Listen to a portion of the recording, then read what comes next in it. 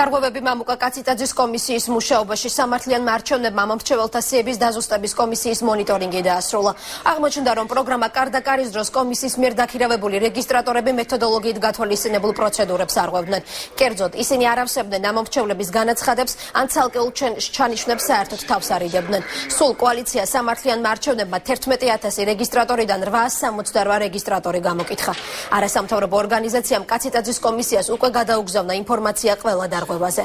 შეგახსენებთ, რომ ამომრჩეველთა სიების დაზუსტების მიზნით სახელმწიფო კომისია ამომრჩევლები კარდაკარის პრინციპით აღრიცხა.